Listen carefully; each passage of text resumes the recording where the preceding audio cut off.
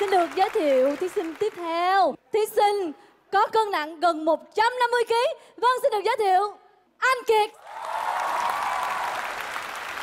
Mình tên là Lưu Anh Kiệt, có cân nặng là 174x lộn lộn 147 kg. Mẹ kể lại là hồi đó sinh ra là gần 4 kg mà ăn uống dữ lắm, uống sữa cũng nhiều nữa. Tới sau này cái phát tướng lên từ 6 tuổi rồi bắt đầu bự rồi. Mình 20 tuổi thì ba mình mất vì bệnh tim.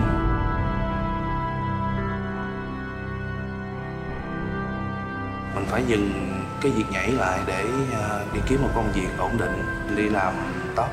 Thì mình làm cũng được 4 5 năm. Cái đam mê nhảy trong trong mình nó lại nó lại trở lại và quyết định lần thứ hai thay đổi đó là đi tiếp con đường nhảy của mình. Cái người mà à, lo lắng cho cân nặng của mình nhất á là mẹ. À, mẹ luôn khuyên mình hàng ngày là phải giảm cân đi mập quá rồi. Nhìn xấu lắm không có ai ai thương.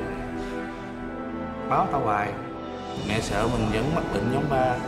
Tại vì căn bệnh đó thì mình biết là rất có khả năng là có di truyền. Nên mẹ cũng rất sợ điều đó. Sau cuộc thi này mình muốn giảm khoảng 40 kg để trở thành một hot boy à, đẹp trai có nhiều đứa yêu nước keo đẹp đẹp do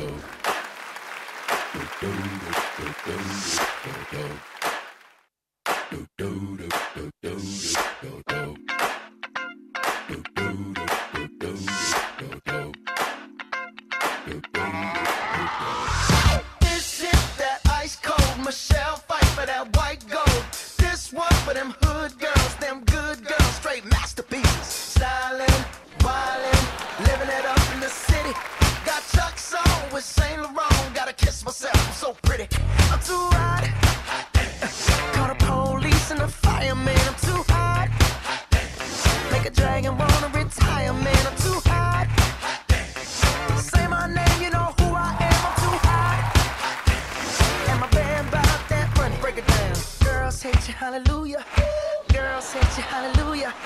Girl, sit you hallelujah.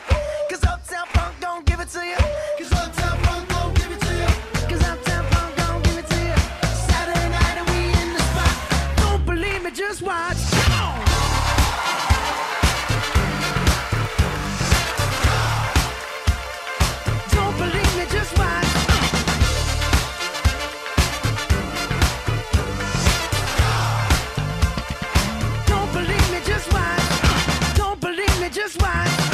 Don't believe me, just watch. Don't believe me, just watch. Hey, hey, hey, oh! Stop. Wait a minute. Fill my cup. Vâng, xin cảm ơn bạn rất là nhiều. Và bây giờ sẽ là nhận xét từ ban giám khảo. Xin mời anh John Huy Trần.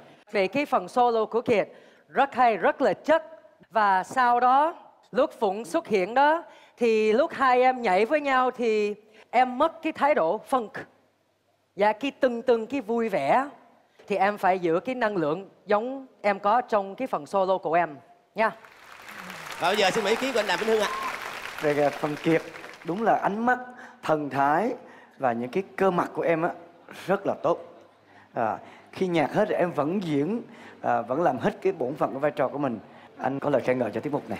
Xin cảm ơn anh.